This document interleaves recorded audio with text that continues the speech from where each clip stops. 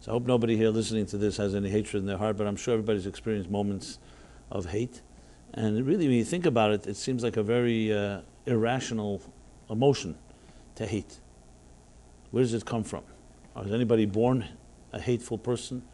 Is it based on conditioning? Is it innate or acquired?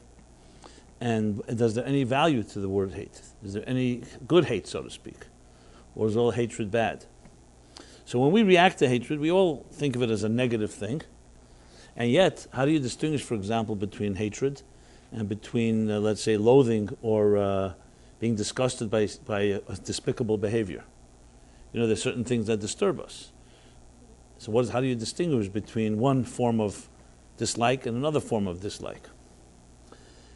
So, though this word is used so often, I think when you really dissect it, the anatomy of hatred is far more complicated than it may seem.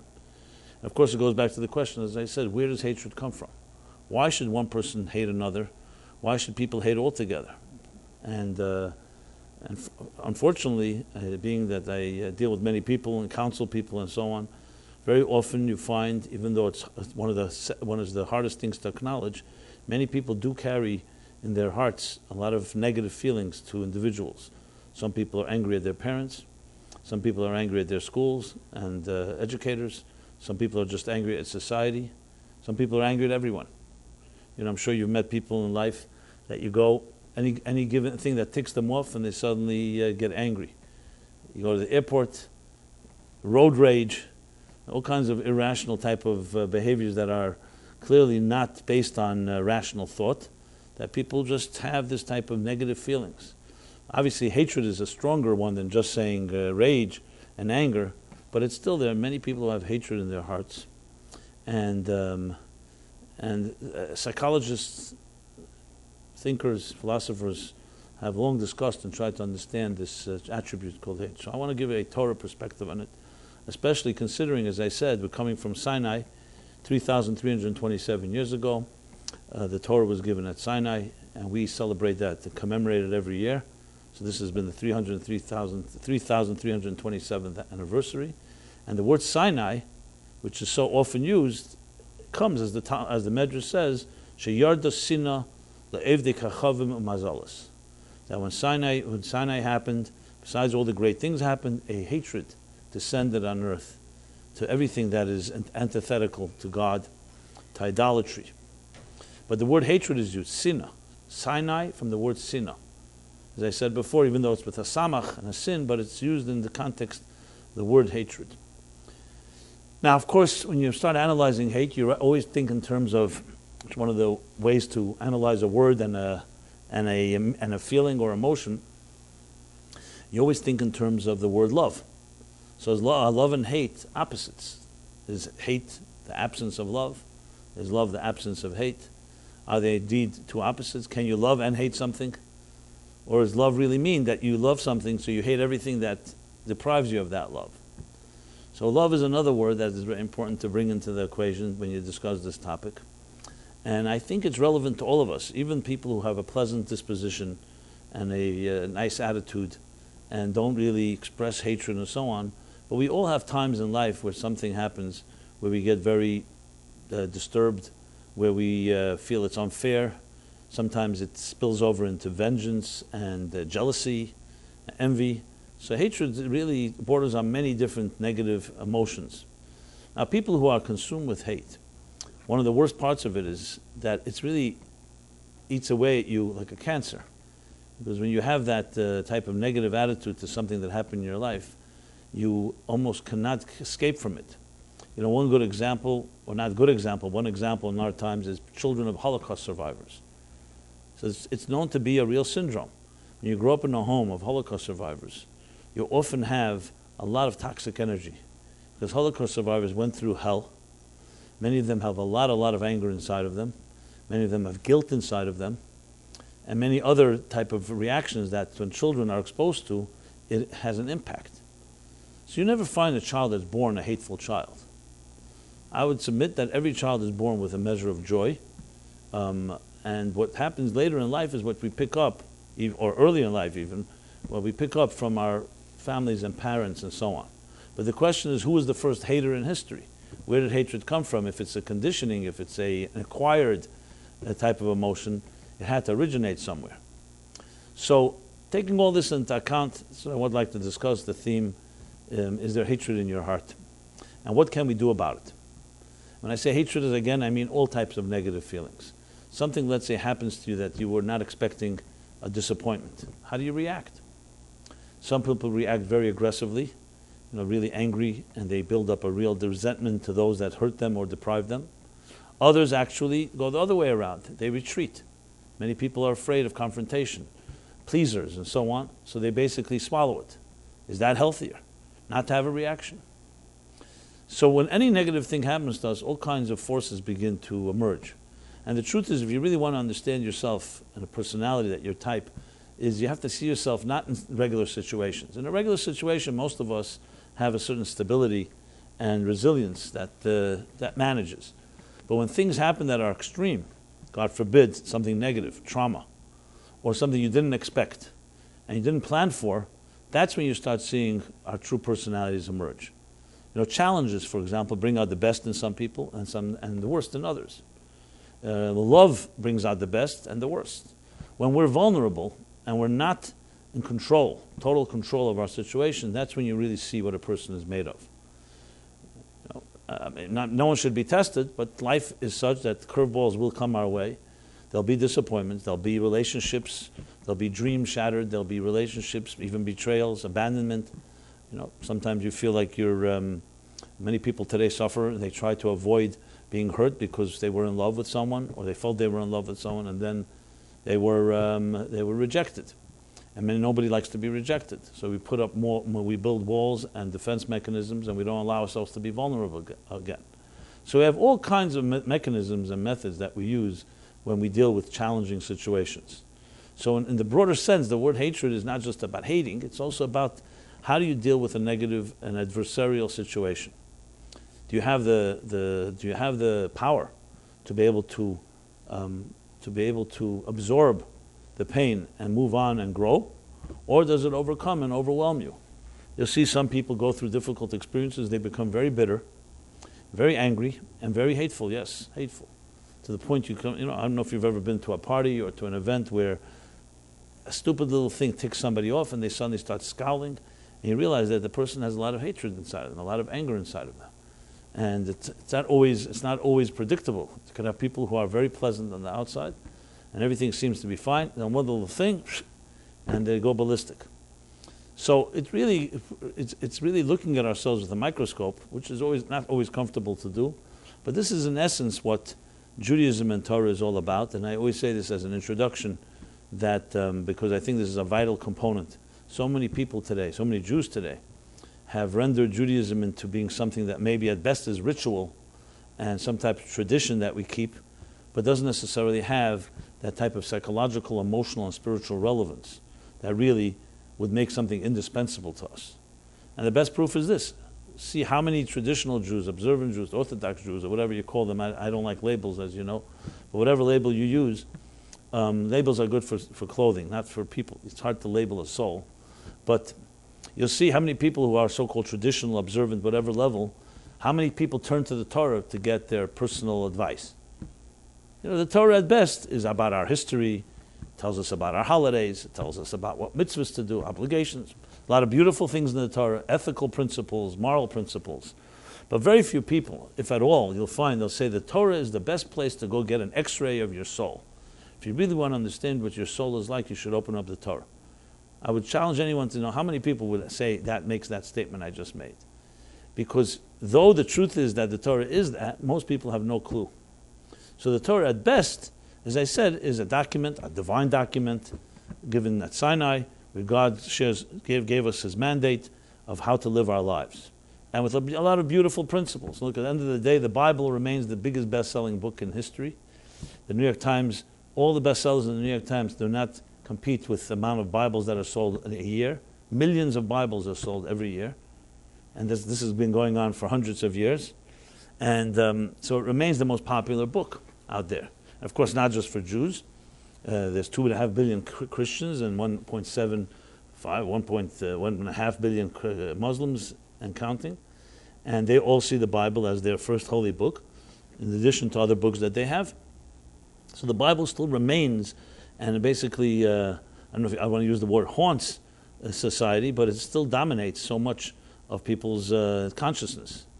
But, uh, but nevertheless, most people reading the Bible see it as a book that talks about events that happened many, many thousands of years ago, that has many messages, but you go to a therapist when you want to have understand your soul. And even therapists, most of them don't do a good job. So one of the premises of this class, and when I began giving it back in 19, long time ago, before some of you were born, 1982 is when this class began, an unbroken chain every Wednesday night. Well, then it was Thursday night, then it moved to Wednesday night. And the, the premise, you know, there are many Torah classes, and everyone has to have their mission. So I see the mission of this, objective of this class, particular class. Though I don't like the word class either, but whatever word you use for it, is more of a, the spiritual and psychological, emotional relevance of Torah concepts. Basically, the universal wisdom of Judaism. You know, there are many classes that can, you can go to and read the commentaries on the Bible. You can read halacha Jewish law. There's Jewish history. There's Talmud. There's uh, many, many parts of Torah, so many different areas of Torah that can be studied, Tanakh, and so on. Ethics. But there's, I find that the most single most important uh, element that is necessary today is relevance. Relevance, relevance, relevance. To demonstrate how ideas in the Torah are not archaic, they're not just historical value, they're not just about our history and our nation, but they have profound uh, insight into the human condition. And when you read it properly and you know how to decipher the Torah, it teaches you tremendous lessons in, our, in what our, our psyche is about. Because the Torah, above all, is a blueprint for existence. Just like a doctor would take an x ray of your body, the Torah is an x ray of our soul. Or to put it in other terms, God created life and then gave us an operator's manual for life. So the engineer of the machine called life gave us an operator's manual how this life works what makes us tick. Because we didn't create ourselves. Both our bodies and our spirits and our emotions and our minds and our unconscious and everything about us was not self made. Someone crafted it and crafted it with design. And the Torah reveals for us that design and its purpose. So if you really want to get a snapshot, or you want a CAT scan of God's mind, or a picture of yourself, what you really are like, beneath the surface, not what you think you're like, not what others have told you, but really, what is your soul? What is it? What what what parts make up your soul, your being, yourself, your psyche? That's what the Torah truly is. Now, that's something that many people have never learned. They've never even heard this in yeshiva. I know people who are Torah scholars and don't have never heard the statement I just made. Even though, if you look in the Torah, the Torah talks about it. It says so. It says that just like an architect creates a building, the Torah is, an is a blueprint that God used to create the universe. Istakel Baraisa, the Zohar says, God looked into the Torah, and with that He created the world. That's why you have in the beginning of Genesis, where it says, "Vayemer Elikim," God said, "Yehi Eir," Vayehi Eir, and there was light. Now the Torah is very precise and very brief. Why? Why? What's the redundancy? What does it mean? Vayemer Elikim, God said, "Yehi Eir," there should be light, and there was light. He could have just said, "Vayivra Elikim Eir," three words, and the Torah has no problem. The Torah is, is brilliant at brevity and, and, and short sentences.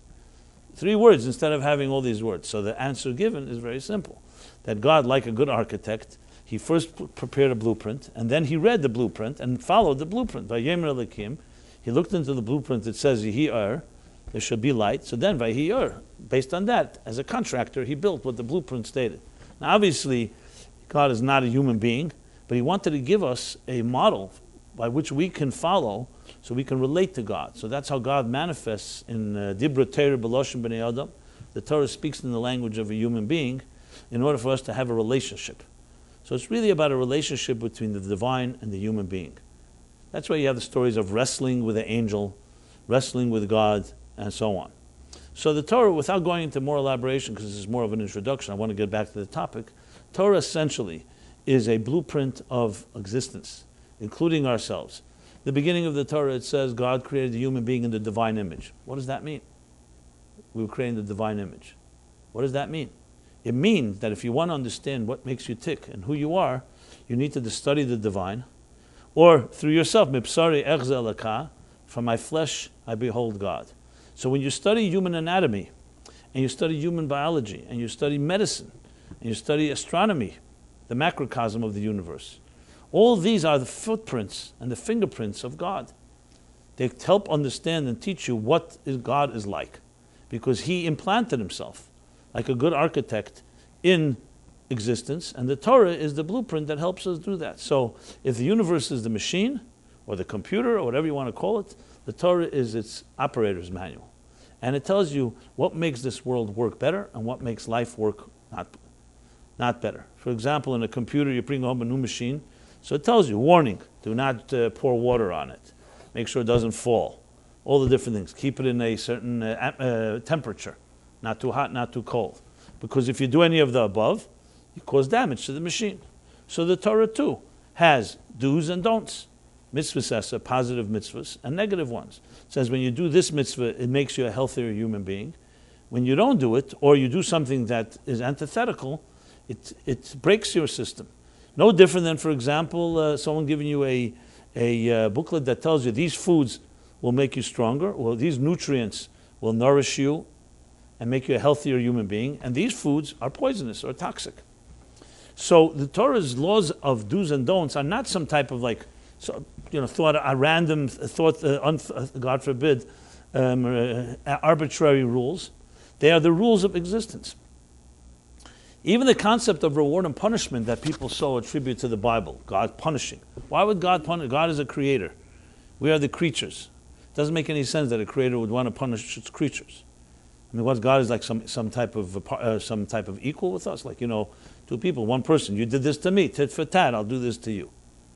Mid the connected mid, and the, the Shalah, great 16th century scholar, writes and cites many of the Kabbalists and other thinkers that schar v'einish in Hebrew, reward and punishment are actually cause and effect. Cause and effect. Very different than reward and punishment. What that means is that when you put your hand in fire, for example, would anyone say the fire is punishing your hand? No. You'd say it's the cause and effect of nature. That fire and the hand shouldn't be touching each other.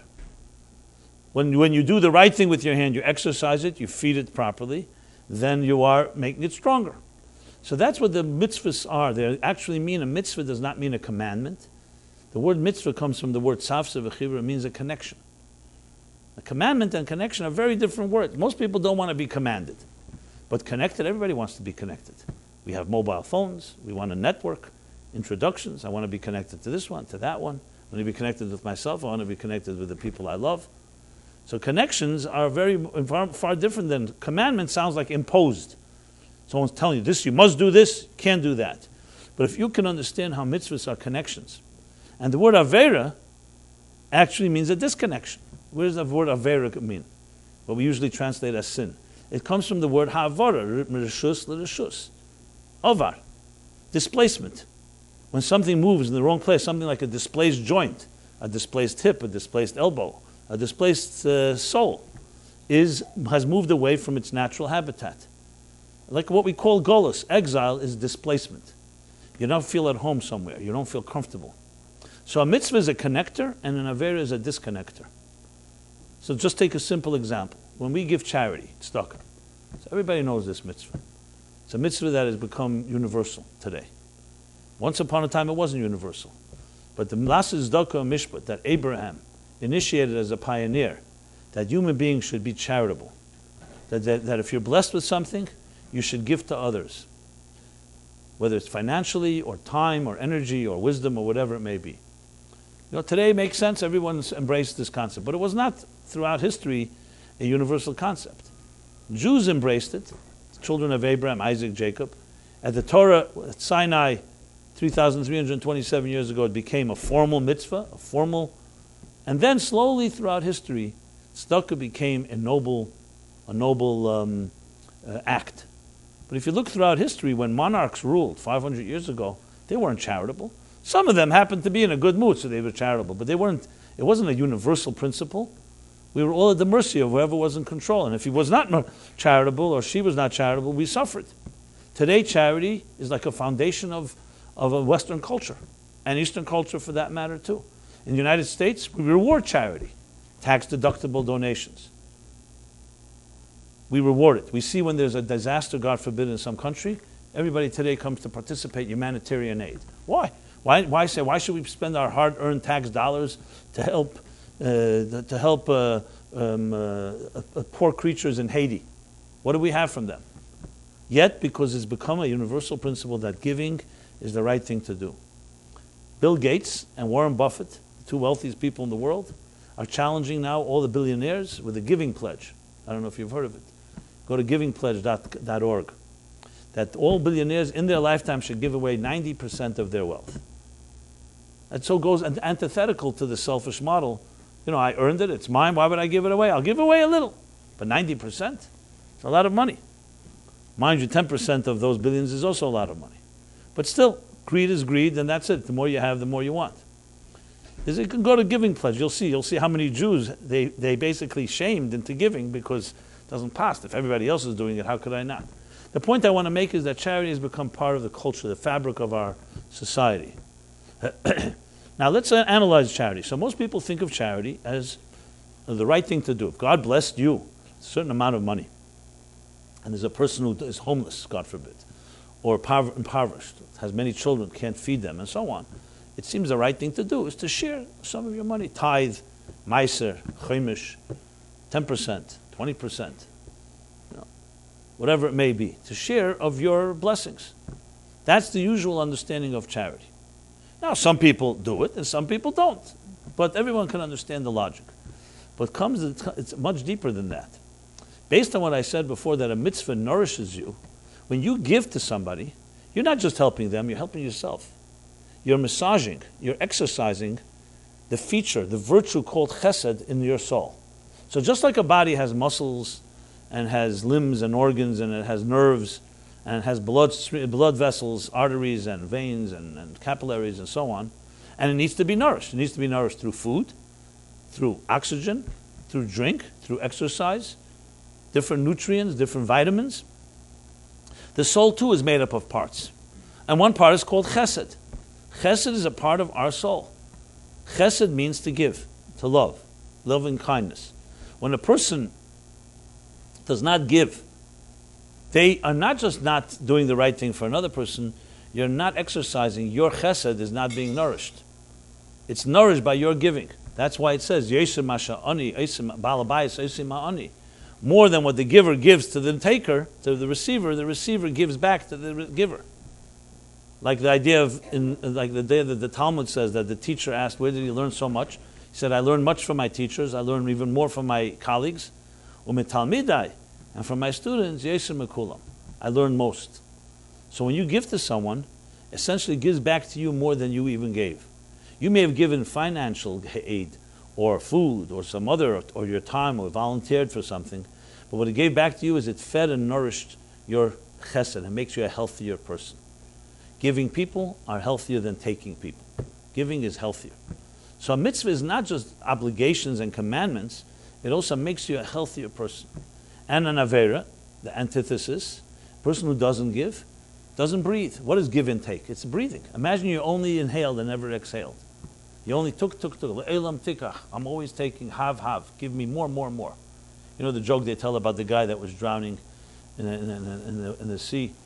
And um, so they, they rode up with a boat near him, and they, say, they said, Give me your hand, give me your hand. And he refused, Give me your hand. So one of his friends who was in the boat says, Tell him, take my hand. He doesn't know how to give, he knows how to take. Take my hand, and then he gave his hand. So he said, Give me your hand. No, he didn't want to give, but take my hand. Some people just don't know how to, how to give. Sometimes it's due to our own narcissism, it can be due to insecurity. People who actually feel very confident with themselves have no problem sharing. Think of the example of like a flame. A flame has no problem lighting another flame because you don't get diminished. So there are people who are, are, are more natural givers. When a person doesn't give, what happens is you like cut off the air path of give and take, which is part of the breathing mechanism of the world. Imagine a person never loved anybody. They only allow themselves to be loved, which means I'll take everything you want to give me, but I give nothing in return. Which, of course, is midas daim, essentially, that uh, you, you, know, you, you take, but you don't give. Uh, the midas, uh, the different opinions exactly what that midas is, but the bottom line is part of life is breathing. Imagine your organs decided, you know what, your blood, your, your heart said, I'm not interested in sending blood to my brain. And the brain said, I'm not interested in sending messages to my heart. What would you have? God forbid. So life is all about symbiosis and harmony where everything is in a give and take process. So when a person decides to become cut off, and I will only take care of myself, it's not just they're upsetting the social order, they're upsetting their own healthy mechanisms. Love is not just what you do for another person. When you love, you become a far better person. The loving person becomes a far better person. So when you take this in context, and I'm going to bring it back now to the concept of love and hatred, of course, is that the Torah is essentially a blueprint for life, and the mitzvahs are ways to connect yourself, and are various other ways to disconnect. And every one of the 600, the 613 mitzvahs, the 248 positive ones, are correspond to the 248 limbs in the body, and 365 negative ones correspond to the 365 sinews, nerves, different ways it's interpreted, or glands in the body. There's a book called Sefer Charedim, where he documents and says which mitzvah corresponds to which limb and to which nerve. So essentially, when you, for example, let's take the mitzvah I just said, tzedakah, tzedakah is connected to the heart. The heart as the heart as in emotions, the seat of emotions. When you give charity, that nourishes your heart, both physically and spiritually, and psychologically. So there are mitzvahs that are connected to the mind. For example, studying Torah. There are mitzvahs that please bepeh, that are connected to speech, uh, prayer, uh, even learning Torah sometimes, expressing in words, gratitude, saying thank you. All every mitzvah has a feature that car, that helps make that corresponding limb or organ or part of your body and soul healthier. Now, if you look at mitzvahs that way, it's a whole different take. It's not just okay. What commandments does God want me to do? You know, Shavuos, we eat blintzes. It's not exactly a commandment; it's a custom, but it became a, almost like a command. Just like uh, Hanukkah is latkes. These are all um, actually, uh, these are all uh, what do we call them? Uh, uh, secondary benefits of the holidays. It's not the real core of the holiday. But regardless, food is always a central component in Jewish history, in Jewish life. But the point is that every holiday, every mitzvah, is more than just commemorating events that happened. That mitzvah makes you a healthier person. Let's take Shabbos, for example. And many people have already acknowledged this. Some people I know that never kept Shabbos in their entire lives, then they discovered Shabbos, and they said they, they couldn't be a happier human being. Imagine once a week, no matter what happens, it's not up to you. It's, it's, a, it's, it's, it's, a, it's a rule. You have to shut down. You have to shut down your machines. You have to shut down your texting. You have to shut down the whole rush hour of your life. And you're able to just celebrate as a human being who I am, the soul that's within you. It's an extremely healthy thing to do. You see, almost in every system, they tell you take time out. Even middle of the workday, go to the park, spend an hour, mindfulness, meditation. I mean, all that is like mini Shabbases essentially. It's about shutting off, unplugging from the, all the machinery and all the noises that are just that distract us, that seduce us, that uh, overwhelm, inundate us, and just be yourself and be with the people you love. Talk to them, tell a story, share time. It's a very precious commodity today. Most people don't have time. I'm busy working, working, working. A machine that never stops ultimately burns out. So even on a very basic level, obviously Shabbos and all other mitzvahs have many other dimensions, and it's not just this. But I'm pointing out is that a mitzvah is not just a commandment: do this and don't do that. It's actually the healthiest way you can be. What has to be, what, what an important thing has to be done is, and I guess this is one of the challenges of our day and our time, is to teach people how, how this mitzvah that you put on, let's say tefillin every day, or Shabbos, or kosher, and so on, how does that nourish my soul? How does that nourish my psyche? So now let's go back, being that the, after establishing this premise, this axiom, that the Torah is here to teach us about ourselves, and of course our purpose in life and our relationship with God, because it's the engineer's manual, it's the operator's manual of who you are. Imagine a book that gives you a mirror image of your soul, of your psyche. So, what does the Torah say about hatred and about love? Well, interestingly, hatred and love is exactly what I described as mitzvah and avera. I don't like the word commandment and sin, so I'm going to use the word connection and disconnection. What essentially is love? If you cut through with, beyond the word, is the connection of two, of two things you and the thing you love. It could be an object, it could be a food, it could be, but let's talk human love. Human love is the connection between two people who care about each other, who will go out of their way to help the other, who feel an emotional connection, attachment, uh, however you know, the words you use, to another. Means it's transcending yourself and connecting to another. What is hate? The exact opposite. It's disconnecting. It's being repelled by something. I don't like this. I don't like that. I don't like this person. So one is a connector, one is a disconnector. In many ways, sina and ave in the Hebrew words have that meaning. So it's far more than just, oh, I hate something, I don't hate it. It's a disconnecting element. If you, for example, developed a hatred to your own siblings, and people, there are siblings, unfortunately, I know they don't talk to each other. You know, whether you call it hatred, they call it whatever you want to call it, jealousy. And they have all kinds of good reasons. I was in business with them and then they ripped me off.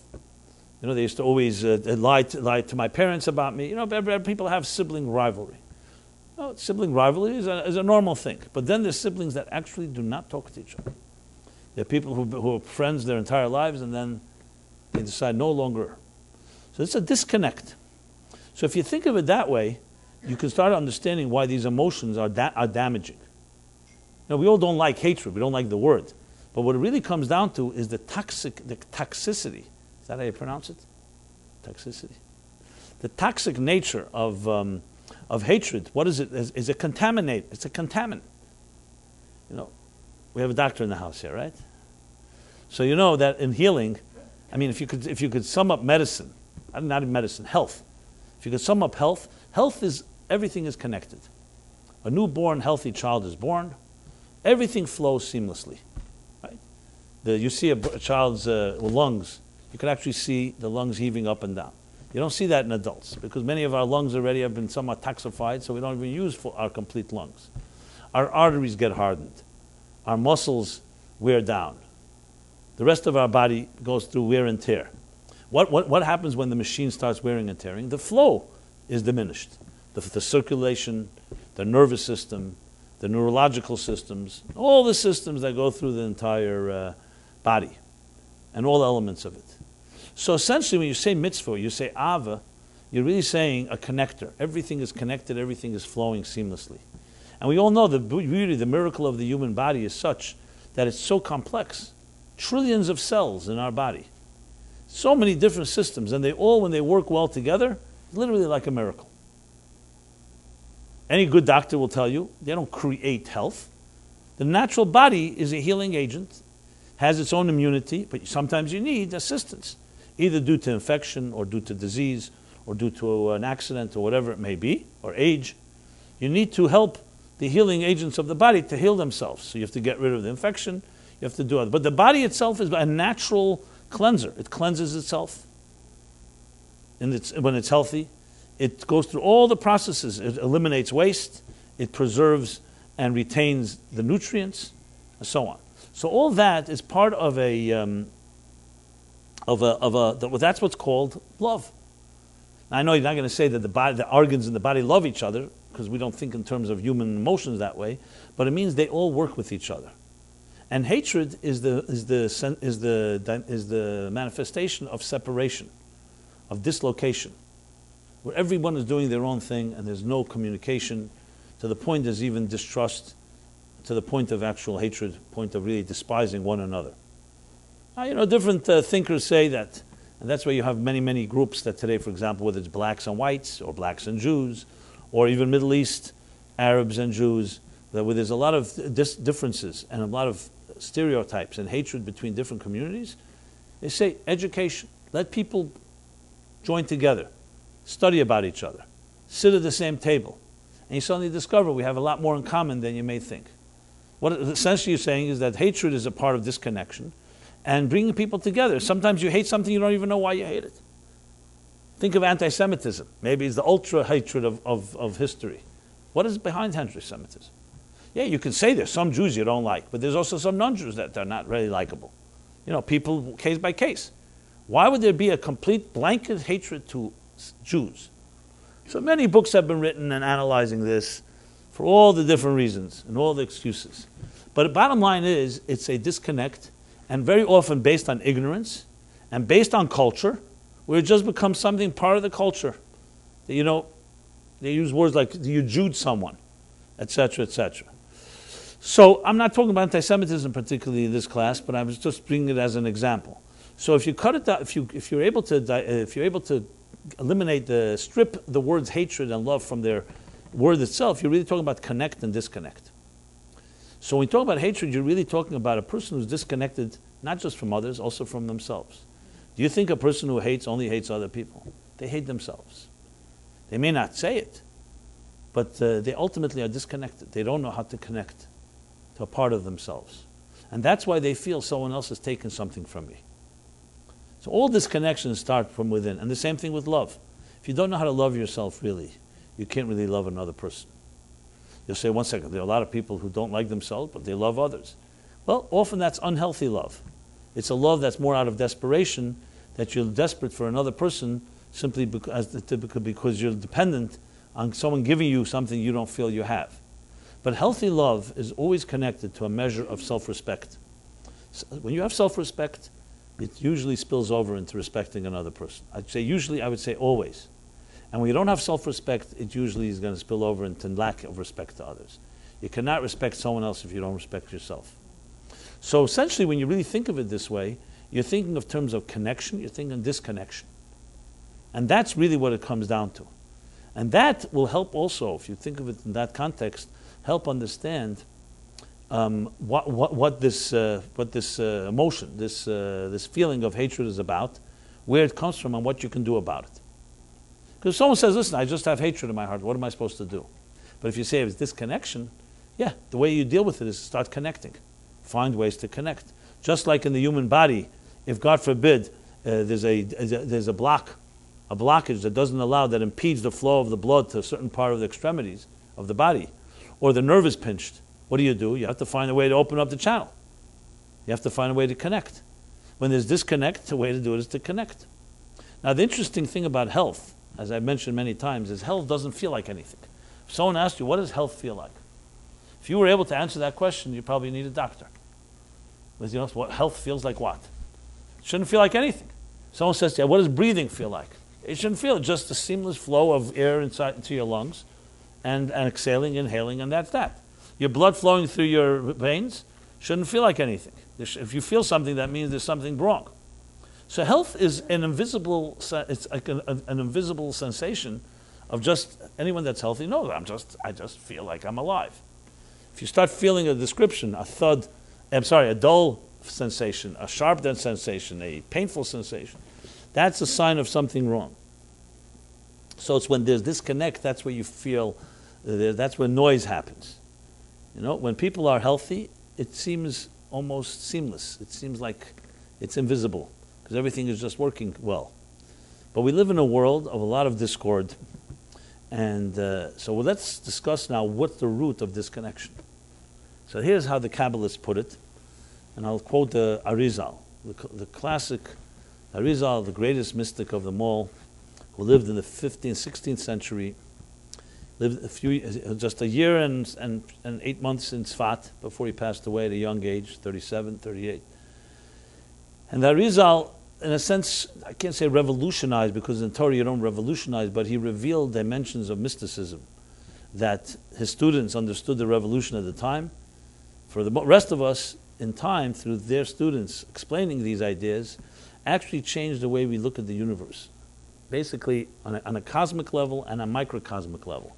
So both the human being is a microcosm of the larger existence. So if you want to understand disconnect, you have to understand it both on a cosmic, on a large scale, and on a small scale. You know, physics, especially in astrophysics, a lot of discussion about the Big Bang, about how life evolved. And the discussion is that for something to create life, you need to have some type of um, some type of radical shifts, because nothing changes shape unless something happens to it. Like if you were just to um, take a cell, it may multiply, but for you to cr- create some real new form of life, you need some radical shift. You need to like shake it up. That's why, to, in order to create, for example, uh, to generate nuclear energy, atomic energy, you need to either through very qu- very unbelievable speeds or tremendous heat that can elicit, that can split atoms or fuse them, fusion or fission. So the same is true, the Kabbalists explain, that for a universe like ours to exist as an independent reality, when God is the one that created it all, there has to be some type of radical quantum leap where the divine force, the divine energy concealed itself. And the, the Arizal calls it the great Tzimtzum HaRishon, the Tzimtzum Agadol, the great concealment. Sometimes compared to like a black hole. You know, a black hole, even though no one's ever seen a black hole, Einstein predicted it. Then later he rejected his own prediction. Then he later he embraced it. And bottom line, it was proven to be correct. A black hole is a star that its gravitational pull is so powerful that doesn't even let light escape.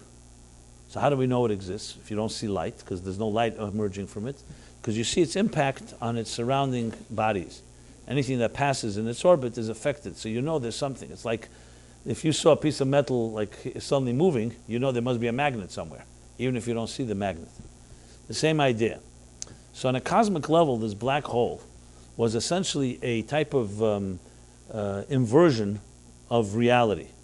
And let me share. Let me explain it with an example. Example with a story, actually. So there's this debate between a chassid and a non-chassid. They were talking between a philosopher, a rationalist philosopher, and a Hasidic mystic. They were debating the existence of God. And the Hasidic mystic finally was exasperated with the argument. He says, You know what? I envy you, he tells the philosopher, the thinker, the non chassid. He tells him, Because you, think about God all day. To be very honest, I think about myself most of the time. Okay, with that they parted ways. The scholar, the philosopher, thought that was a great compliment coming from this big rabbi. And he began telling people, you know, I had a debate with a rabbi, with famous Hasidic mystic. And you know what he said about me? That I think about God all the time. And he's selfish, thinks about himself all the time. Well, years passed, and one day someone enlightened him that actually he was insulted. It wasn't, an insult, it wasn't a compliment, it was an insult. Because the mystic was telling him, you think about yourself all day because you, you think about God all day because you know you exist. That's not a question. You're a reality, and your question, does God exist? So you think, you ponder about that all the time. You don't have to think about yourself because you're a given. So you ponder, does God exist? Does God not exist? How does he exist, etc. Whereas the mystic understood that God is a reality. That's for sure God exists. The question is whether I exist. So he thinks about himself all the time. Am I here? Am I not here? Is this an illusion? Why am I here? Etc. Etc. Now, this isn't just semantics. It's a very different way of looking at reality. I'll, give another example that's taken from the, the, Kabbal, the Kabbalists explain. Everything in this world today, we know, is driven by invisible forces. If you said this 100 years ago, 150 years ago, people would think you're crazy or you're some religious fanatic. But today, everything is driven by invisible forces DNA, microscopic particles, subatomic particles, Today we see how we transcend time and space. Cell phones, just use your mobile. How, how does the communication happen? You don't see the airwaves, you don't see sound waves. But these are forces that connect the universe in ways we never could have imagined. Once upon a time, you wanted to get a message from here to here, meaning, let's say, 100 miles away, you needed to rent a camel or a donkey and send, this, and send a messenger to go bring the message, or a horse in, in other countries. And you never knew, you never got a receipt that it was delivered. Either it was or it wasn't. Today, it's instantaneous. You could sit here, open up a television, an internet, and see exactly what's happening in Australia, which is almost a 20, 20 hour flight from here, thousands of miles away, instantaneously. Nobody even understands exactly how it works. They just know it works. Technicians, technology, technology masters have figured out how to manipulate and make it work. But the real mystery, what exactly is happening? How do you see the exact image of millions of miles away? And I say millions, it's even hundreds of millions. Today we have spaceships that are first reaching Pluto. And their messages continue to come back to Earth. You know how many months later? Four months later, they get a message that was sent four months ago. I mean, just, it's just mind boggling what, what the technology has shown us. But invisible forces shape the world. Today, we no longer think in terms. I think I left my phone on. It's all right. If you don't mind, just the switch on the side. Yeah. Perfect. Sorry about that. I usually. um, what, was I saying? Oh, size today doesn't matter. Someone said to you, What's the most powerful army on earth? It will not be based on how many soldiers, how many tanks, how much artillery. It'll be based on, on nuclear power, on uh, powers that forces that you can't even see. It's based all, completely on technology. So today, the invisible is a reality in our lives. It Doesn't mean we understand it better, but we know it's there. So let's talk about it in personal terms. If you see somebody crying and tears come out of their eyes, nobody's going to say that first you cry, then you feel sad, right? First you feel sad, and then the sadness, for some reason, has a psychosomatic impact on your body. Tears well up in your ear, in tear ducts, and then you cry. A smile on someone's face is a contortion that's a result of a certain feeling that turns into a smile. So everything really works from the inside out. When I look at you, the only way I know what you're feeling is if you express yourself, either through words or through body language. My, when I look at myself, I don't have to look in the mirror to know if I feel good. I know it from within, and then I just choose or don't choose to express it. So the Kabbalists explain that everything in the universe that we see is surface level, is like a glove to a hand that's an invisible hand that you cannot see. And we only see the glove. That's why it's called klipa, if you ever heard the word klipot. Klipa means husks, like a potato peel, an eggshell, an orange peel. A peel is an important component. It protects the fruit within. But imagine that you didn't know there's a fruit inside. You only thought the orange is its outer shell. So the way the mystics and the Hasidic masters put it is that we are, delug- we are deluded by we are deceived by the surface level of existence and we think that's all there is. Then your mind tells you it can't be all there is. There must be something more. Let's take human beings. How would you like if someone said the only thing they say, you look nice physically, but I have a whole personality inside of me? Do you know who I am? You care about me or you only care about my externals? Now, we are human beings that worship the externals, so we can worship superficial things and completely reject that which is within which is why at the end of Eshes Chayil, Friday night when we sing it, say it, we say Sheker Achem veHevel Yefi, which means false is uh, grace and, and uh, Hevel, empty, empty is um, beauty. And what's really beautiful is a woman that fears God, that has God fearing. Everyone misinterprets this verse. They think it means it's dismissing beauty. It's not the case. If it was dismissing beauty, the Torah wouldn't describe Sarah, Rivka, Rachel, um, Leah as beautiful people. Yifas Mara, Yifas Teir, they were beautiful, physically beautiful. Their structure was beautiful, their look was beautiful. In the Torah, beauty is considered a divine virtue. Zekeli vanveyu, we adorn, you should have a nice mezuzah, a nice Torah scroll, a nice mitzvah should be done in, with beauty. The temple was built in a beautiful way. We don't just say, doesn't matter, the externals, look only on the inside. But we say both. If you only worship the outside, then it's sheker. If you only worship the external beauty and you're not interested at all what's going on beneath the surface, that's false. That's superficial. As a matter of fact, an interesting thing in Hebrew, the word face, when we say the face of something in English, on the face of, on face value, we mean surface and not what's underneath the surface.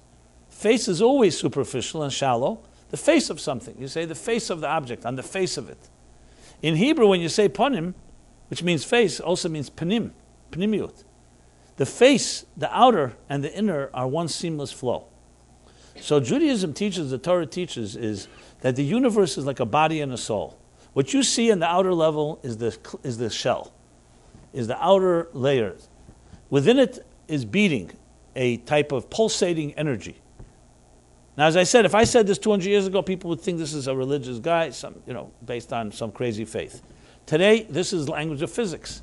There's no such thing as an inanimate object. If we all left this room, would anyone call this uh, room empty of life? Absolutely not. Light, everything in existence, from inanimate minerals, and of course, the human beings, is pulsating with energy. The fact that you don't see it doesn't mean how much energy there is in one follicle of hair in this table these are the subatomic particles, the atoms, that are constantly moving. And when you know how to tap, tap, tap into that, you can create tremendous energy. So there's a surface of things and there's beneath the surface. In terms of science, you would call it on the surface, you see, a, let's say, a wooden table. It's probably not wood, some plastic table, but let's say it's wood. Wood is made of elements. Let's say water is made of the elements called H2O, hydrogen to oxygen. and um, wood is made of other elements. Elements are made of what? Of molecules. Molecules are made of atoms. Atoms are made of subatomic particles. And today we also know they're sub subatomic. And every physicist will tell you there's probably thousands of layers. No one knows how deep down the rabbit hole it goes. So, what is existence? What you see with your eye is barely the surface, the tip of the iceberg. It's understanding the forces that shape something. Just like I said before, the tears are just an expression of the feelings within. So the Kabbalists developed and understand the entire universe this way. You see it rain outside, so most of us will take an umbrella, a raincoat.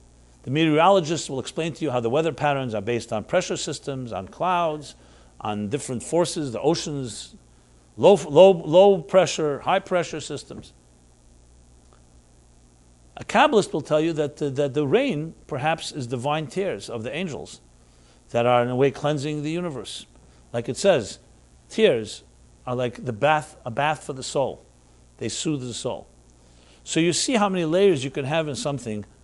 That's why when he said that, philosopher said, he said, you think about yourself all day because, yeah, he knows that there's something going on beneath the surface. The question is what's going on on the surface. How real is that?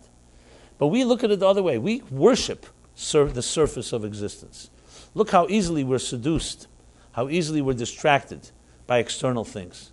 Give someone a few dollars, and suddenly they can change their whole opinion. You can buy people. Because the world is a very superficial world. However, beneath the superficiality lies layers and layers of truth. And what Arizal came to teach was that there's a deep concealment and a disconnect.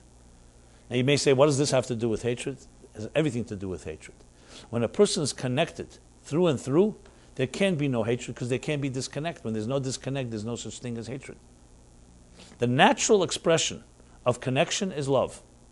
The natural expression of disconnect is hate, discord, discontent, separation.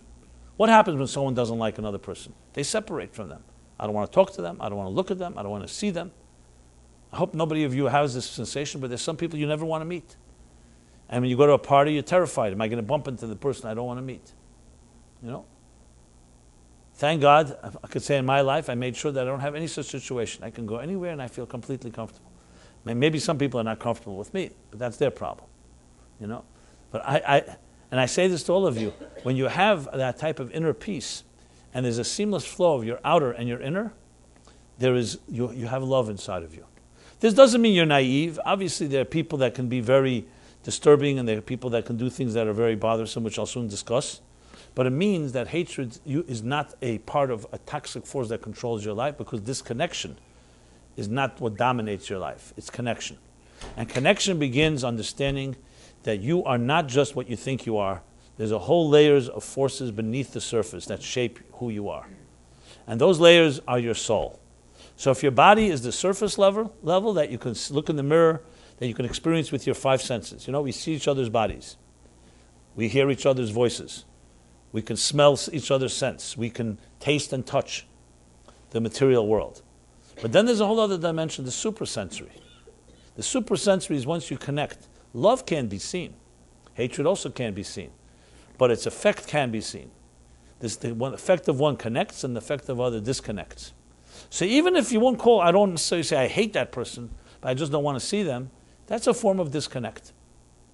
Now, that doesn't mean we shouldn't have preferences, and not everybody has to be your best friend, and there are people who get along and you just relate to more than others. But it also does not mean there's no, there's no negative energy coming outside of you. Now, most of us can feel negative energy. You come to a party, you attend a, an event, you meet people, you pretty much can pretty quickly pick up someone giving off negative energy. You know, how they look at you, their attitude, their cynicism, and so on. And we could also tell positive energy. I noticed this just today. I was looking at my little grandson, and I saw we were you know, in a store, and there were two people there. One person was a very kind, giving person, even though he wasn't acting in a necessarily kind, giving person, but he gave off that energy. And I saw my grandson, my little child, my little boy, like gravitating, speaking to him, smiling. Another person you could see on the face was uh, ungestrengt, as they say, you know, very, uh, um, what's it called, strained, very anxious, a lot of negative energy. And I saw that my grandson literally just walked away. Now, how did he sense it? It's not because of brilliance, because energy is energy. And when you're sensitive, especially a child, a child senses it.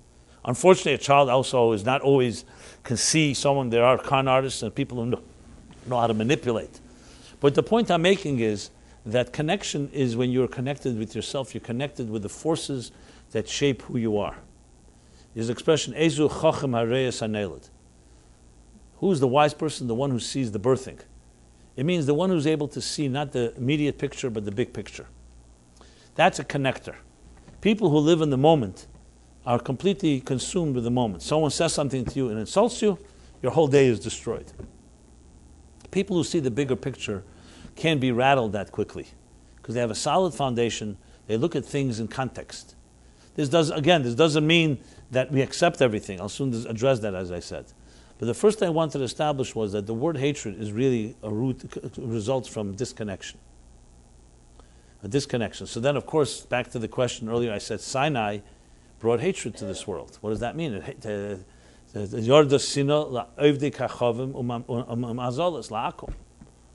A type of hatred. So here, this brings us to the real meaning of what that means. There's hatred and there's hatred. I wouldn't even use the word hatred in that context.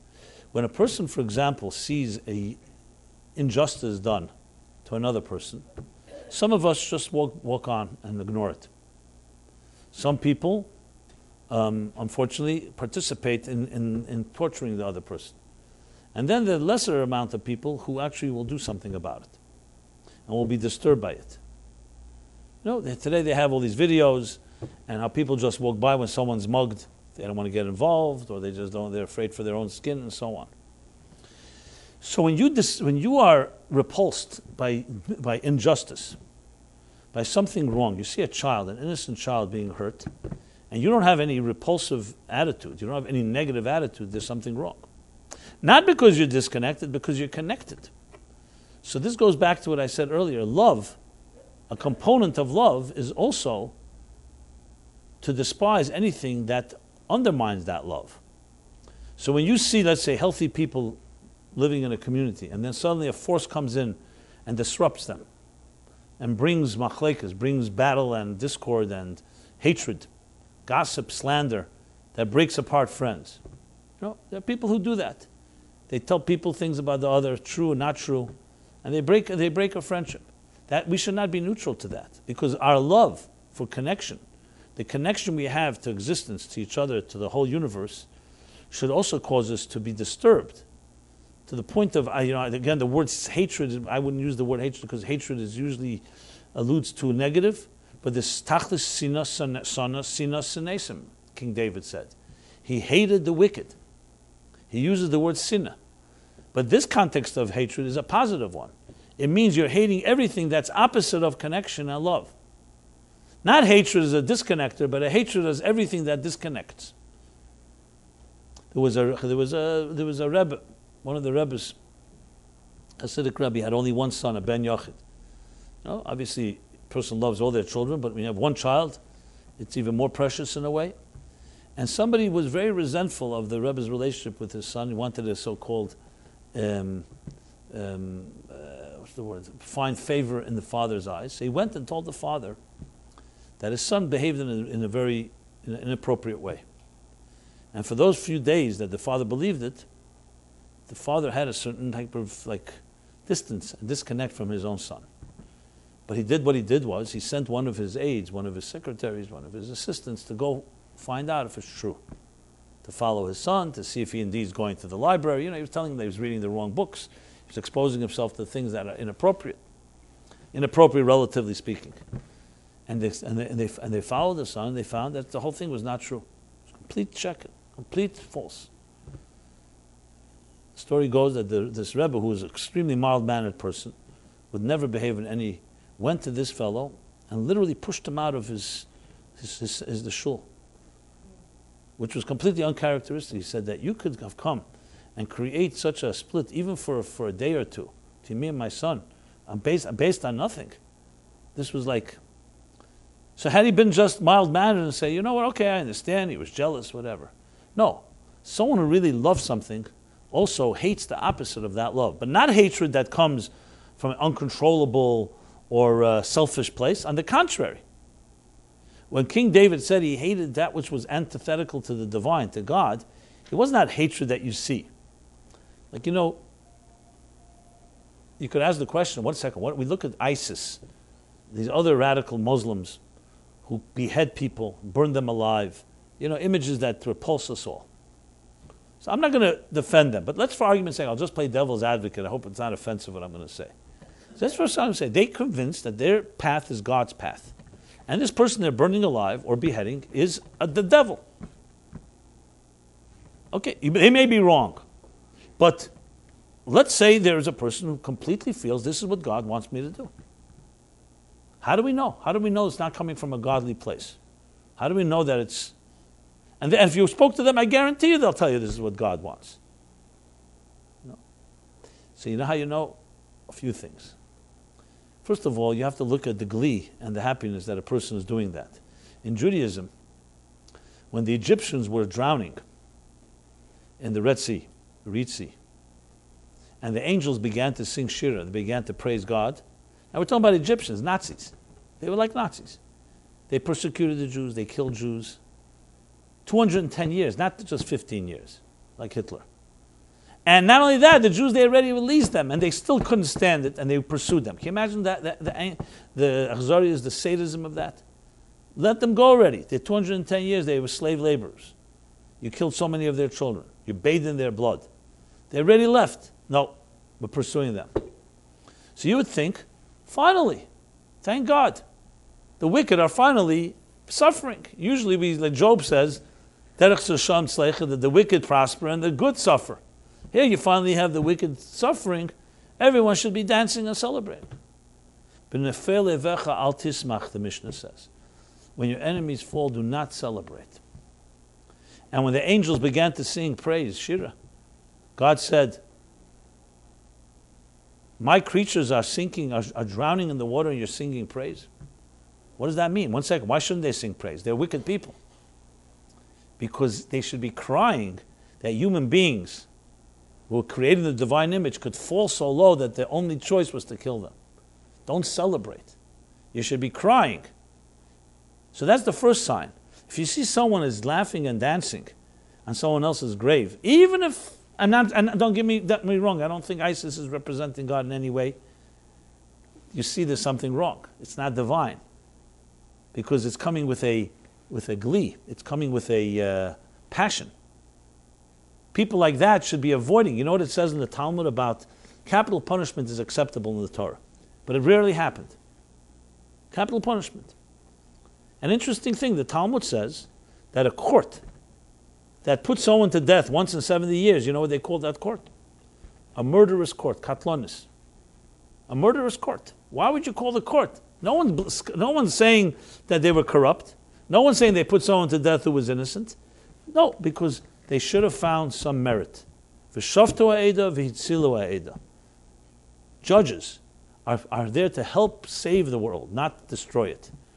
If there's no other choice, then with great tears in your eyes, and you're the last one that lines up, you want to avoid it by all means, there's no choice. But never is it with joy. It's you cry that there's someone on earth that unfortunately there was no way around it because they were so destructive. But you never see that as a celebration. In other words, it's not about you. Hatred, the negative form is about you. You're hating someone. I want that person destroyed. When, when King David or other expressions like the Sinai says, that hatred descended, it was not hatred personal, it was hating everything that's antithetical to love. When you see people are trying to disrupt and destroy a world that is loving each other, communities, families, and so on, yes, you, you are repulsed by it. That's the word I would use repulsed, revolted, all the other synonyms you can find for this. That's a very different type of hatred because it has nothing to do with you, it has to do with God and the cause. As soon as your feelings get involved, it's, it's, it's a problem. So real love is not selfish love. It's about selfless love. It's about transcendence. And real hatred, the, the positive type, is also about transcendence. It's simply about, about being zealous to get rid of the infection. When white blood cells attack an infection inside the body, they do it pretty ruthlessly. But that's exactly the way it's meant to be because they're protecting a healthy body from an invader, from a foreign alien force. You are not going to say, the, the, the, white blood cells are suddenly, you know, like ISIS killers and terrorists and, and um, radicals. That's part of health is to get rid of anything that is the opposite of health. When you see a parent protect his child from a predator, from a murderer, and does it passionately, that's the sign of someone as a healthy human being. It's not a selfish thing, it's, it's, it's maintaining the balance. So, health, so love and hatred in that sense, love is connect, hatred is disconnect. And then the positive connect sometimes requires to fight the enemies in this world. You have to do so with an equal amount of passion, but it's not about you. And it's not about your emotions. It's never about your emotions. As a matter of fact, if a person feels that they have to that they they have some type of pleasure in sitting in judgment of another person, they should they should recuse themselves because it's not about you. You should never be part of, in any way, a negative reaction to another person. Which is why we uh, parents, for example, a healthy parent, when so their child does something wrong, there's ways that you can reprimand your child in a healthy way and an unhealthy way. And I always ask parents when this question, I say, your child comes home from school, they really did something really bad. You know, objectively, everyone agrees there was the child misbehaved. What's the reaction? You can't ignore it. So there are parents who always blame somebody else. The school, the principal, the other children, the other mother, the other father. You know, they always have someone else to blame. My child can't be blamed, which really means I can't be blamed. Okay, that's one attitude. So they don't do anything. Then you have parents who are the other extreme. As soon as they hear something, they punish the child, they ground the child, they demoralize the child. And now the child is also in pain and suffering because the parent is, so to speak, uh, um, uh, uh, punishing them. Both those approaches are not love. They're both pe- people going by their nature. The first parent can't be wrong. My child can't be wrong. It's always someone else's fault. The second parent is just happen to have gvuras in their, in their personality. They happen to be severe people and their severity is now the child is now the subject of their severity. It's nothing to do with the child doing it. Anyone that does that is because they have that anger inside of them. So, right, my child, punishment time. What does a healthy parent do? A healthy parent sits the child down with patience and tries to figure out how do I get across to my child two messages at once. One is that I love you from the depths of my heart and I will not break your spirit and demoralize you and destroy your confidence. On the other hand, I want to get the message that what you did was wrong. How does a loving person do that? So, first of all, you sleep on it. You don't just react out of uh, impulsive reaction. Oh, I'm angry, and I, I, you embarrassed me, or you're embarrassed, uh, you know, I'm going to punish. You think about it. And then you sit down the child and you say to the child, I'm just giving you an example. Uh, you know, any parent can say it in many different ways. I love you from the depths of my heart, unconditionally. I've done everything in my life to help bring you up as a, and actualize your potential that you should be a beautiful child your beautiful soul should shine in this world. You know, you did something yesterday or today that was not right. You hurt another child, you said something wrong, you were disrespectful, whatever it is. And it breaks my heart that you, who have such a beautiful soul, are not living up to your great potential. And as a result, I have to I want to get the message to you. And you find some way that the child understands it's serious, whether it is some form of depriving them of something, but not done ever with anger.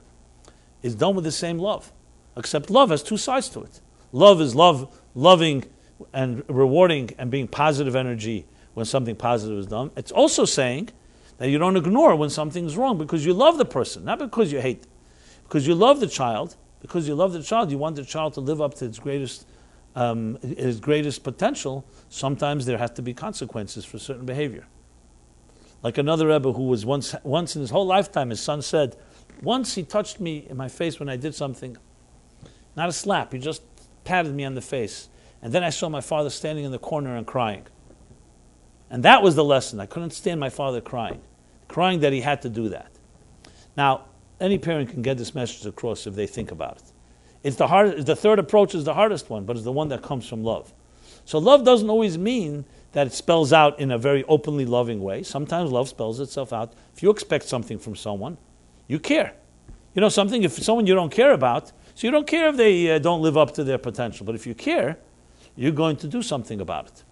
And you'll make sure never to demoralize or break the child. Because that's not the goal. The goal is not to break and demoralize the child. The, the goal is to lift them up, to give them uh, confidence, to rise, to make them feel next time that they won't do it because it doesn't pass. It's not appropriate. In other words, it's all about lifting the spirit and showing how much more you can be. Now, obviously, this takes effort, takes discipline. But the point I'm making here is it's about connection and disconnection. And this approach that I just mentioned of the parent is still a connection. However, it's a connection that takes a little pain involved. There may be some a moment of uh, separation in order for there to be a deeper love that comes afterwards. Because that's how the process works. That's really what Shuv is about. When the Jews built the golden calf, right? Sinai, it was right after Sinai. God said, Hashem I am your God. And then right afterwards, as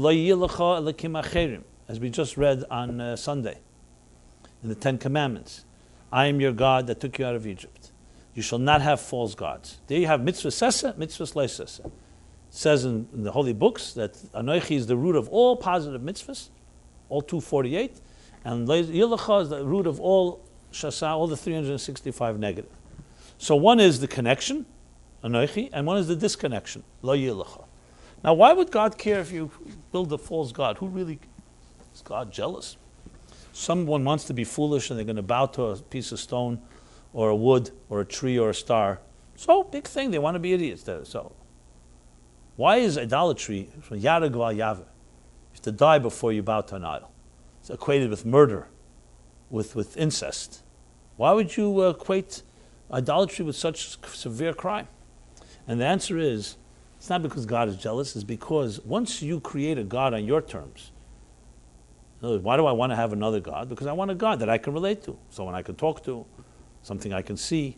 Once you're not submitting to a God that's a creator beyond you, you're not ready to accept something greater than you are, you want a God, instead of you being created in the divine image, you're creating a God in your image, you undermine the whole purpose, the whole point of all of life. Because then yourself, then you're worshiping yourself. It's essentially idolatry is like self worship. It's a God on my terms. I don't want a God on God's terms, I want a God on my terms. Then the whole, uh, the whole Torah falls apart if that's the case. Because then, everything on my terms, then whatever's convenient for you, that's what you do. The foundation of it all is that there is something greater than you that puts you here. And you submit, submit your life to it. It's telling you what to do, you don't tell it what to do. So the connection to God, Anechi, is a connection, Le'ilacha is a disconnection. Now, when the Jews built the golden calf 39 days later, the wrath of the divine came down upon them. Yardasina. Before Sinai, it may not have been as great a crime. Idolatry was not acceptable. But they didn't hear La'ilacha. Here they heard from God's mouth, Mepiagvura, from they heard from God's mouth. They heard, You shall not have a false God. This foundation, cardinal sin. So now Sinai brought two things into the world it brought love and connection to what is true, and now a discon- and, and a despi- despising everything that's not true. You know, in an ambiguous world where Tevirah, good and evil, can be like snowball together, you know, it's called the Taruvas Tevirah, which you don't know what's right, what's wrong, and so on. Sinai delineated in a very clear way, clarity. This is right and this is wrong. This is divine and this is antithetical to divine. This is love and this is the opposite of love. And when you do this, you're, you're connected. When you do this, you get disconnected. So Sinai introduced the idea that Sinai brought sinah to everything, to to anything that was like idol worship, anything antithetical to God was like the parent who says, I love my child so much, I don't want that child to be doing things that are inappropriate. Because we live in a world where there are all kinds of distractions. So it, what comes together with this love is the dislove, the unlove, or the you could say the lack of love, or the hatred to everything that's opposite of love. Hatred, again, the, the, despising of, being repulsed by, anything that's the opposite of connection. And the same is through the rest of the Ten Commandments. You have the positives and you have the negatives. The negatives are all about not introducing something that's negative, it's introducing that you have to avoid certain things in this world if you want to be connected. You cannot steal, you cannot murder, you cannot covet, lesinov, you cannot um, be, be sexual promiscuous, etc., etc. There are boundaries. There are things that create health in this world and things that create non health. A good doctor is passionate about healing, but is also very passionate of fighting illness. If he was like complacent to fighting illness, it would not be healthy. It's not just about loving health, it's also about disloving or not liking, disliking lack of health but, but disliking it for the right reasons because it's part of the process of creating that type of uh, fusion of heaven and earth, which was the staple of Sinai. So, in practical terms, in practical terms, you know, imagine what this world would be like if we had no hate in our hearts. There was no hate in the world. That's a world of messianic world. As the Rambam says, Maimonides, the end of Hilchos Melachim, end of his Mishneh Torah, there'll be a world like Yakina v'le Sachrus, There'll be no longer jealousy, envy, and Sachrus is a type of hatred, unhealthy competition, greed, and there won't be Rav, there won't be hunger, and there won't be uh, war. It's basically eliminating the discord that exists between people. There'll be differences between us. Diversity is fine. We're talking about divisiveness. So you know that when the creation of the world, it was the first three days, the first day, Yom Echad, God created light. The second day, God created separation between the lower heaven and the higher heavens. And the third day was Yom Shlishi, the third day, Shehuchbal Beikitev. So it says on second day is the only day that it does not say it was good. Why? Because when there's separation, it potentially can lead to divisiveness. And on day three, Shalom was created, Tiferes, the third path that creates harmony within diversity. So diversity is a healthy thing that we should be diverse. But how does diversity work well is when each component recognizes the value of the other, like I said before, with the human body or nature in general. Trillions of cells, uh, hundreds, thousands of different systems at work. And yet they're all symbiotic, they all give and take in a healthy way. A lack of health is when there's disconnect, when the, then the, the, the, the diversity becomes divisive. You know, when there's, let's say, autoimmune disease, when the body turns on itself or other types of diseases that begin, begin to destroy. Now, the verse in Isaiah, it says, as, the, as Maimonides brings at the end of his book, it says, They will no longer do evil and no destruction on my holy mountain. Ki, why? Aris Because the world will be filled with divine knowledge as the waters cover the sea. So the question is asked, what does knowledge have to do with destruction there are many people who are very knowledgeable, and they did do, they, they fought wars, and they were very destructive. The Nazis and the Germans were not uh, idiots. There were scientists among them, and scholars, and philosophers, and they created the most unprecedented destruction in the universe. They weren't just some type of primitive, ignorant nation. They were very literate. They were too literate, maybe, for their own good. So what does it mean, Mola Deus Hashem, because there's Deus Hashem? The answer is Deus Hashem, not just knowledge, divine knowledge. And it's interesting when you think about Chet Tzadas, which is the eating from the tree of knowledge, also das. It doesn't say Eitz HaChochma, the, the tree of wisdom, Eitz HaBina, the tree of understanding. It says the tree of das. Because the word for das, das means hiskashrus, connection, like love. Chachma is the spark of an idea. Bina is the elaboration. Das is when you bond and becomes one with you. That's why das is the word in Hebrew for intimacy, for sexuality. Adam Yada as Chava. It says Adam knew Eve. Knowing is an expression in Torah for intimacy, because knowing is not just you are aware of that something, you connect to it. And intimacy is two entities becoming one flesh. Spiritually, it means that when you connect with Das, you have an intimacy with the knowledge. It's not just you know the idea. When they ate from the tree of knowledge, they knew of good and evil beforehand but not in Das. They didn't experience it. Theoretically, of course, Adam and Chava knew because the mere fact that God told them, do not eat from the tree, that right away tells them what you should do, what you shouldn't do. But that's still theoretical. That's like teaching a child these are right things, wrong things. But once you eat from it, then they lost their innocence. Then there's no turning back. Now you can't just say it's theoretical anymore. Once they taste from it, now they bonded.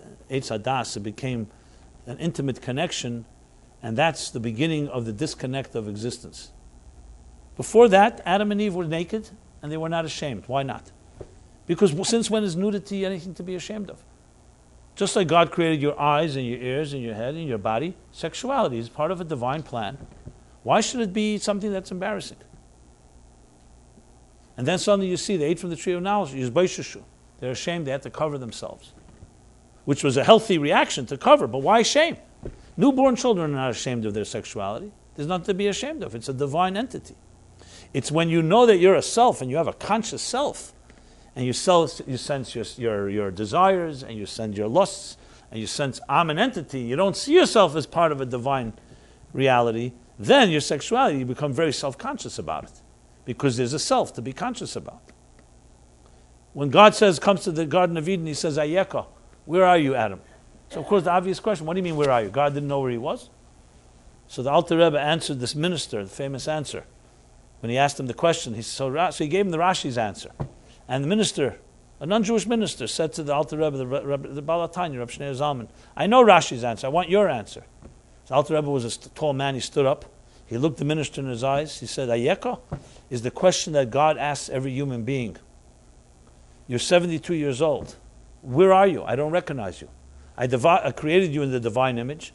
You've wandered away from yourself. Sometimes you're sitting near somebody, and you say, Where are you? You know where they are. Their body is there, but they spaced out. They're not with you anymore. He was telling Adam, I don't see you. I don't recognize you. Where, where did you go away? Oh, you were once my partner. We were partners in creation. You were created in my image. Where are you? Where's your spirit? Where's your mind? Where's your heart? And the minister, who happened to be 72 years old, fainted because he said it with such piercing words. He says, What have you done with your life? You're 72 years old. Where are you? He asked for his answer, so he got his answer. And that's the story. The story is the connection, and disconnection that we are with ourselves. Are we living up to who we really are? Have we betrayed ourselves? It's far deeper to betray yourself than to betray others. Betray your own destiny, your own calling, distracted by whatever life brought you in this world. So chete tzadas, and then comes the tikkun of it, is mola oretz deis Hashem. There's also mola oretz chamos. That was the mabul, the flood that came as a result of a corrupt world that resulted, that came after the generation after the tree of knowledge. And then the tikkun is a world filled with divine knowledge. What? As the waters cover the sea.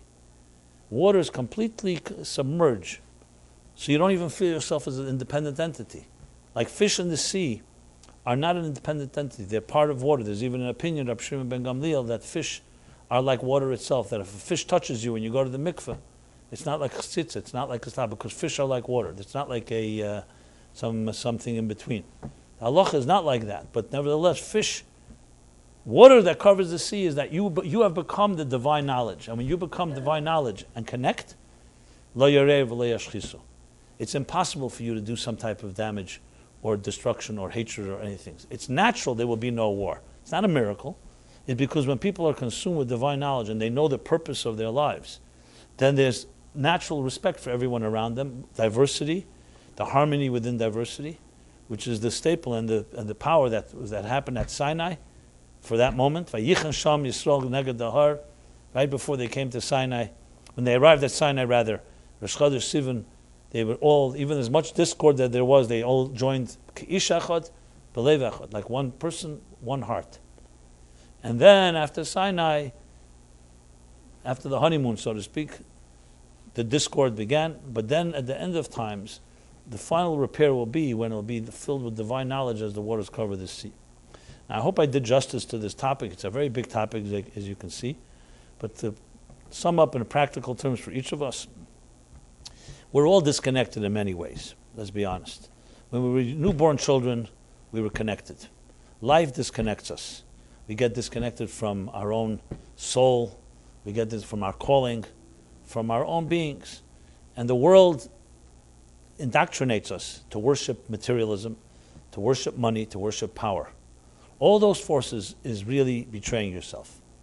As I said earlier with beauty, money, material world is not a curse, but it's a curse if it gets disconnected from its fruit within. It's a glove that's meant to protect the hand. If love, if money, materialism, ego, vanity, becomes a force of its own and it loses its soul, then we lose our soul. So the whole purpose of Sinai was to connect. And any type of losing your soul is a disconnect that leads either to hatred or to the other vices. It could be envy, it could be uh, anger, and so on. And the way to look at it is to find ways to reconnect. Reconnect simply means you have to make time every day for your soul. In the morning you say, I acknowledge my soul has returned to me. You have to never forget that it's your soul that you are here to express. Everything else tool, is a tool chest. Your job is a tool chest. Where you travel, where you go, those are tools. Your purpose in life is to actualize your neshama, to connect to others. That when you go to work, you go to a doctor, you go to commute, Your job is to connect, to, do, to, to redeem sparks, to connect things, to show, to see the divine providence in your life, to bring a nice, kind word to another person, instead of disconnections. Look, life is so filled with disconnections. You know, we're all in business. The whole business is a negotiation. I'm not you, you're not me, so we negotiate. Hopefully, it's done ethically. But still, there's a disconnect. I don't tell you what cards I have in my hand if I want to negotiate. Well, it's all about um, a battle of uh, like a, a, rat race. And then there's introducing, even into our work, a certain civility of recognizing these are the tools, the means.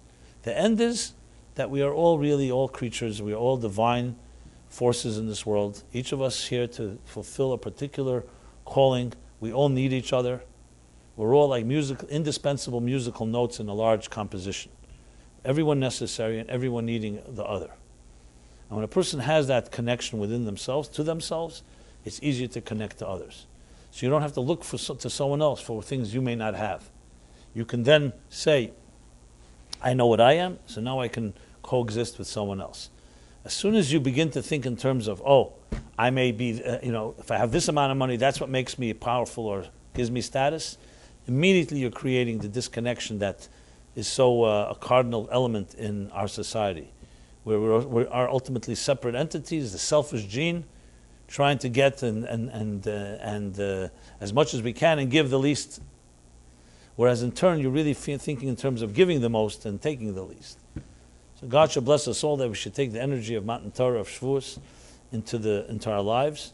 The Sinai experience, which teaches us both connection and teaches us how to abhor and be repelled by disconnect, and also try to eliminate from ourselves any tinges of hatred and so on. And the way you do that is bringing love into your life, expressing love, finding ways to give. So, until next week, everybody should have a very pleasant week. Next Wednesday, we continue this journey. Uh, tomorrow night, Philip gives his, I believe, Thursday night class. You can check with us, at our office, if you need. And there's other, any other spiritual needs or psychological, emotional, uh, we're here for you in any possible way. The Meaningful Life Center. Thank you very much.